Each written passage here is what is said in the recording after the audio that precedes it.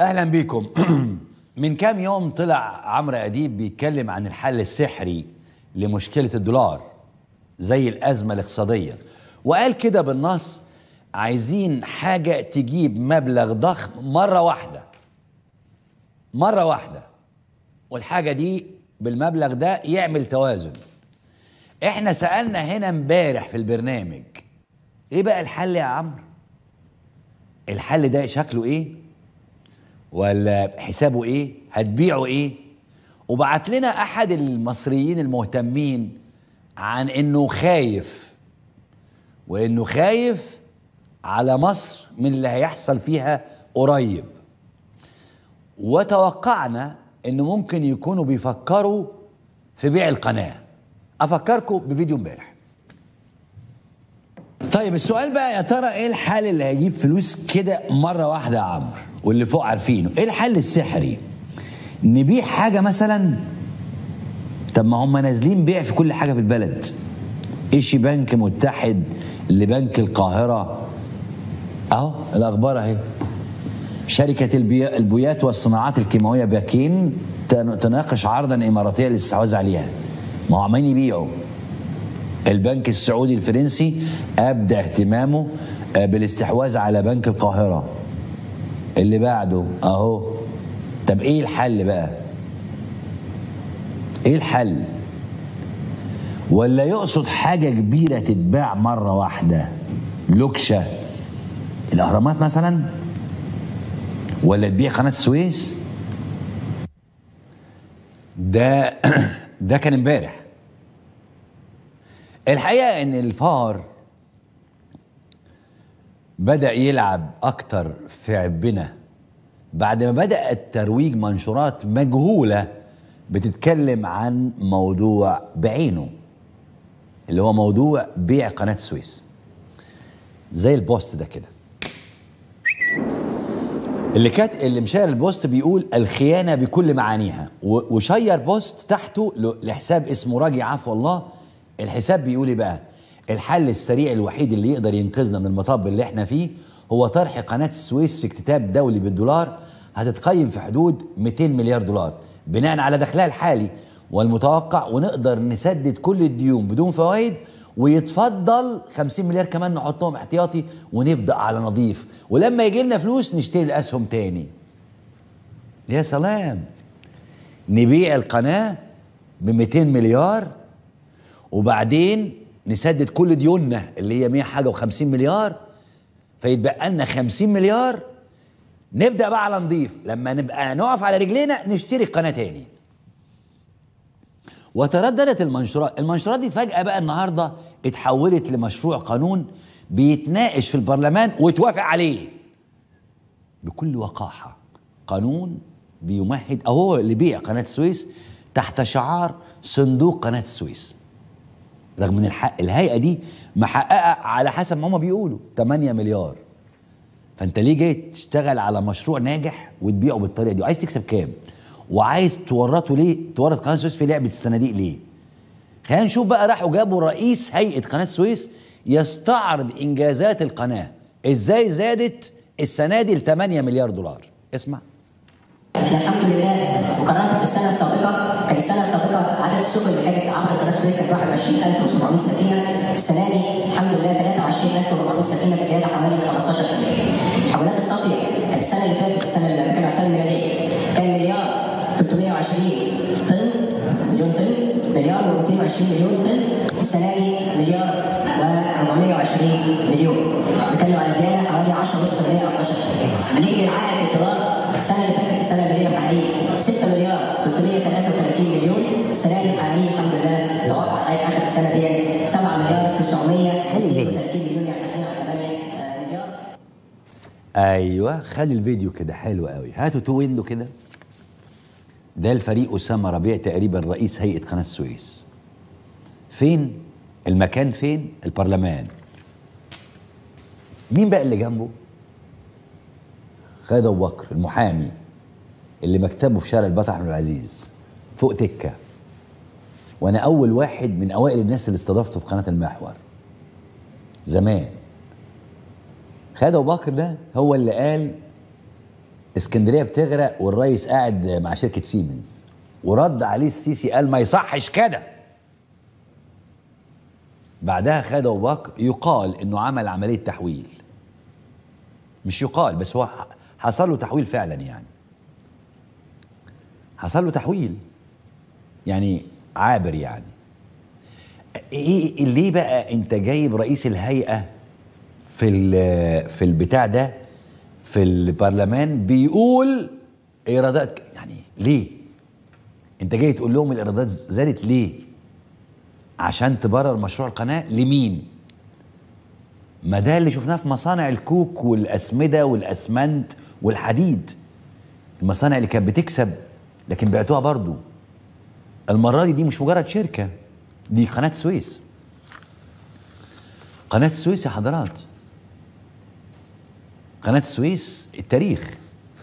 قناة السويس اللي رفض محمد علي يعملها. ورجعوا لمذكرات نوبار باشا إن محمد علي رفض يعملها عشان ما تطمعش فيه الدول. قناة السويس اللي فضلوا الإخوة الماسونيين يزنوا عشان يعملوها لحد ما جاء الأخ ديليسيبس بطبق مكرونة خلى الخديوي أو خلى الراجل يعملها. قناة السويس اللي مات في حفرها آلاف المصريين. قناة السويس اللي آه، فتحت الطريق لدول العالم زي ما كان توقع محمد علي إنها تفتح آه، عينيها على مصر. قناة السويس اللي اتقفلت خمس سنين بعد حرب النكسة 67 قناة السويس اللي لما السادات فتحها في 75 وقف بالبدلة بتاعت البحرية وجاب ابن شاه إيران وحضر الحفلة وعمل حفلة. قناة السويس أمن قومي. قناة السويس اللي في فيلم ناصر 56 من إخراج محمد فاضل تقريبا أو محمد فاضل تقريبا. أمينة رزق طلعت مشهد واحد بس في الفيلم ده. مشهد وهي جايبة بؤجة آه، هدوم كده وبتقول للرئيس عبد الناصر إني أنا أبويا مات في القناة في حفر القناة دي. فعبد الناصر تلتهب مشاعره وتنتفخ و آه وقرر إنه يأمم القناة، يعني واحدة من الأسباب يعني. قناة السويس اللي عبد الناصر قرر يأم- يأممها واتفتحت علينا حرب آه 56 وعبد الناصر خطب في الأزهر وحشد وراه الشعب وانهزمنا عسكريا وانتصرنا سياسيا. قناة السويس النهارده بمنتهى السهولة بيتعمل لها مشروع قانون بتتباع. عشان كده الحكومة طلعت تقول لا الموضوع مش بيع ولا حاجة بلاش تبقوا حساسين قوي كده الموضوع استثمار يا حمار نشوف كده الحكومة هي بترد على مزاعم بيع قناة السويس آه، أنا بس لاحظت في كلام الساده النواب إنهم بيتكلموا على مرفق قناه السويس الصندوق مش يعني مش هيبيع قناه السويس زي ما أنا سمعت.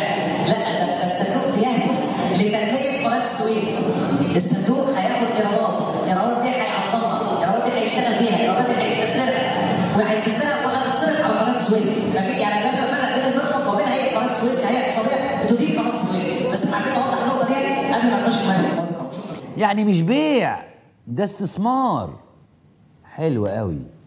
يعني الصندوق ده الاستثمار آه. طب يا جماعة الكلام ده قلقنا شوية. هو قلق حد تاني يعني ولا أنا إحنا بس؟ مش بلاش نجيب بقى معارضين أو مصريين في الخارج. اللي السيسي شغال عليهم قضايا وملاحقات قضائية. لحد النهارده أنا وزمايلي محطوطين في قضية مش عارف أمن دولة كلام فارغ يعني. لا لا مش هنجيب الناس دي. ولا حتى هنجيب أكاديميين محترمين. إحنا هنجيب النواب نفسهم اللي كانوا في الجلسة النهارده اللي سمعوا كلام الفريق أسامة ربيع واللي سمعوا كلام الحكومة. النواب بتوع النظام نفسه اللي اعتبروا إن الصندوق ده مغارة علي بابا لنهب قناة السويس. النواب نواب يرفضون. آه صندوق قناة السويس مغارة علي بابا. في فيتو. أهو. أهو. أهو يا حضرات. يعني مش كلامي ولا كلام مش عارف مين ولا كلام أي حد. ده كلام الإخوة النواب اللي حضروا الجلسة النهارده. مغارة علي بابا.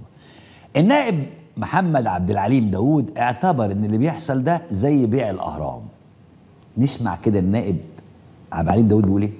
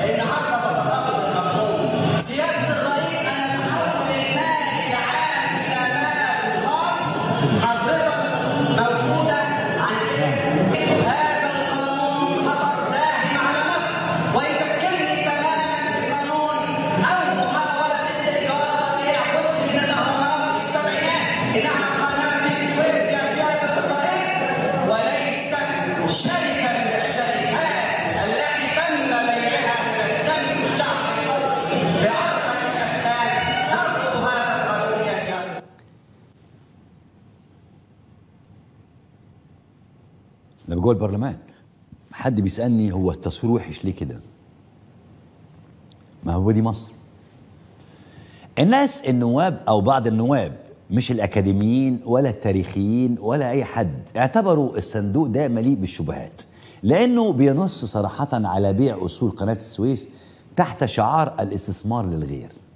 واخد إيراد القناة للصندوق. من غير ما نعرف كام وهيعملوا بيها إيه؟ زي الخبر ده بتاع عين مصر. مجلس النواب يناقش آه تعديل قانون نظام هيئة قناة السويس. تستهدف هيئة قناه تستهدف هيئة قناة السويس من مشروع القانون وفقا لما ورد في تقرير اللجنة إنشاء صندوق مملوك لها آه تسمى من خلاله أو تسعى من خلاله إلى تحقيق الأهداف التالية. مجابهة الأزمات والحالات الطارئة المساعدة على تمكين هيئة قناة السويس من مجابهة الأزمات والحالات الطارئة ما هي هي القدرة على تمكين السويس من القيام بجميع الأنشطة الاقتصادية والاستثمارية بما في ذلك مساهمة الصندوق بمفرده أو مع الغير في تأسيس الشركات أو في زيادة رؤوس أموالها. يا صلاة النبي. في نوفمبر 1875 ولا نأجل دي ناخد النائب عبد المنعم إمام بينتقد القانون وبيقول لهم 10000 شهيد راحوا في عمل القناة. اسمع.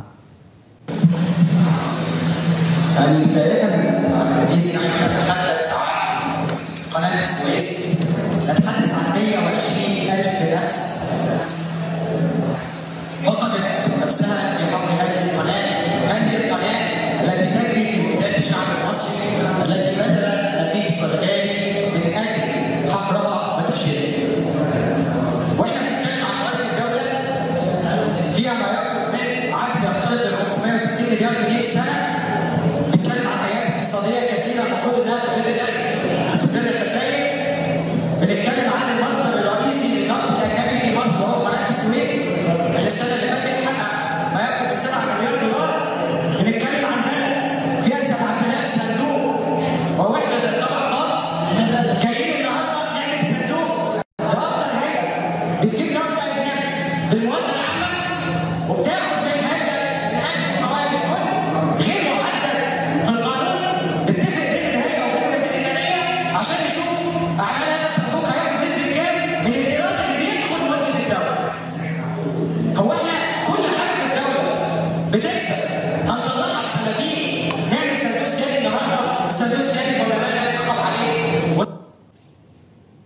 نسمع كمان النائب أحمد فرغلي وهو بيتكلم على القانون ده اللي بيقول إنه بينص على بيع أصول قناة السويس. إيه الأصول اللي هتتباع؟ وإيه النسبة؟ نسمع الراجل بيقول إيه؟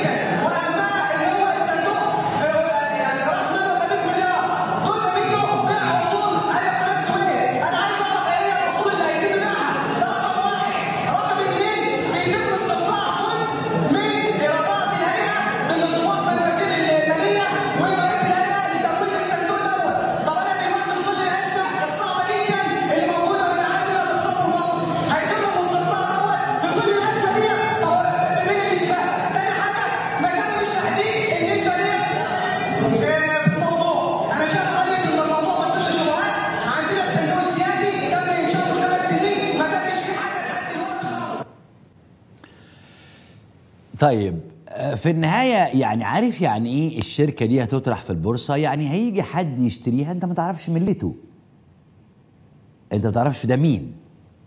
وما تعرفش ده بيعمل إيه. طيب في النهاية بعد الشرح ده والندب والشكوى دي كلها البرلمان وافق بالأمر يا معلم على تأسيس أو على القانون.